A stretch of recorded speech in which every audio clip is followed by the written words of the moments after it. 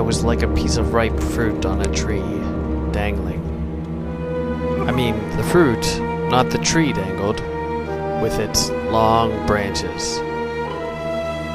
Wait, apples don't have long branches, but trees dangle.